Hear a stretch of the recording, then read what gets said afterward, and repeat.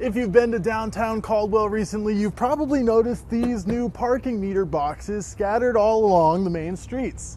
I'm your neighborhood reporter Brady Caskey on 7th Avenue, and I spoke with some local business owners to see how they feel about the switch to paid parking. A new parking system will be coming soon to downtown Caldwell. Although the city recently installed these parking meters, downtown visitors won't have to pay to park until sometime in May. I do think that there is going to be a little bit of a challenge in the beginning. Christina Rock owns Spectagals in downtown Caldwell, a boutique shop offering eyewear and other gifts. She tells me downtown parking can be a challenge for her customers. I hope that our community will understand that there's a situation with parking, and this is hopefully going to um, help.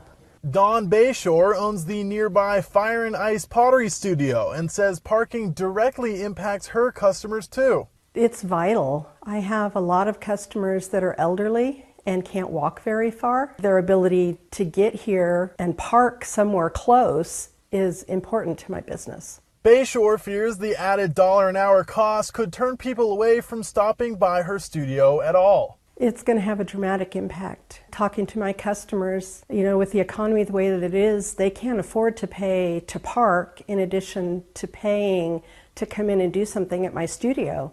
So if the cost is going to be even greater for them to come here, I'm going to lose business. City leaders say that the new program aims to alleviate congestion by encouraging long term parkers, like local employees, to park in the free parking lots a few blocks from the core of downtown. Time will tell, and then also time will tell of whether or not um, businesses can sustain through it all, and hopefully we can. Given these big changes in parking, Caldwell City leaders are trying to work with local business owners to answer questions and get feedback at a public meeting this upcoming Monday. In downtown Caldwell, I'm your neighborhood reporter Brady Caskey for Idaho News 6.